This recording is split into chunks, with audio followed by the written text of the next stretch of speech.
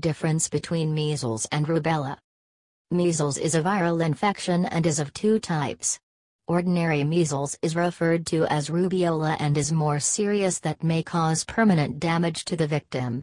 On the other hand, rubella is also known as German measles and is relatively mild.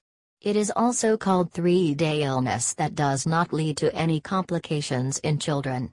However, if a pregnant woman catches rubella, German measles, it can have severe consequences with as babies can be born with defects such as cataract, deafness or mental retardation. In some cases there may even be miscarriage of the pregnant woman.